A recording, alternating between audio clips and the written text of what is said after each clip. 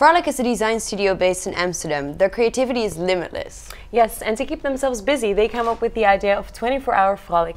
And 24 hour frolic is a challenge in which they have to solve a first world problem within 24 hours. They have to come up with a prototype, a working prototype. Can you name some of the productive results that came out of the 24 hour frolic?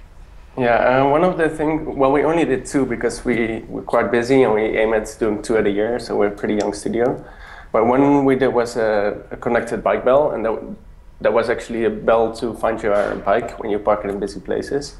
And we never really had the intention to actually make it into a product, but we got so so much response from uh, media, uh, people asking for it, that we actually decided to turn it into a product. And it will be on Kickstarter um, by the end of next month. Cool, cool. I need one of those. Um, and what is like your ultimate problem you would love to solve in 24 hours? Well, 24 hours is of course a short thing, so we try to keep it a bit light. And um, I mean, you're not going to solve any world problems in 24 hours. Um, but someone sent us a problem that she's always losing her socks.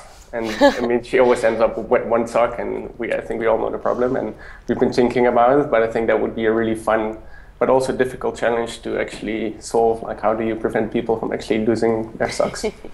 um, and how to do it in an affordable and uh, realistic way. But that would be a very fun one to do, I guess.